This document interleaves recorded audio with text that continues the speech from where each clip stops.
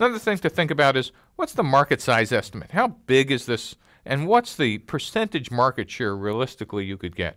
How many can your distribution channel actually sell? And if you have your own direct salespeople, do the math. How many customers can they call on at what price? And as you start putting all this into a spreadsheet, you'll actually start building the classic income statement, balance sheet, and cash flow we haven't even had you do yet. If you think about this, this entire conversation we've had was how to get the basic data so you can put together a revenue model that's based on fact rather than fiction.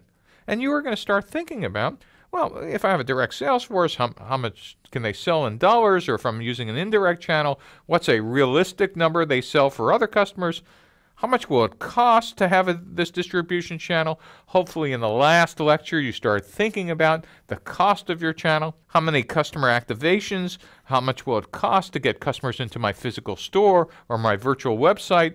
And then, as we talked about earlier, uh, how much will it cost to acquire a customer?